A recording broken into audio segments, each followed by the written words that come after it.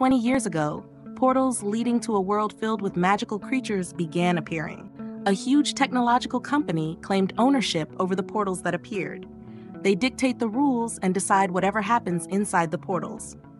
Our main character is one of the core engineers of this company. He often gets belittled and bullied by his boss's son.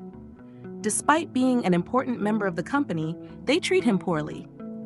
The only one who cares and understands him is a girl named Luo Yue. He has made up his mind to protect her with the power he has obtained and is secretly hiding. He warned her to be careful at the company because he discovered a very dark secret of the company. However, she betrayed him during a meeting of the major members of the company.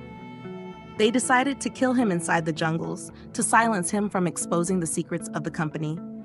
His beloved and trusted stabbed him in the back. All the time they spent together was fake.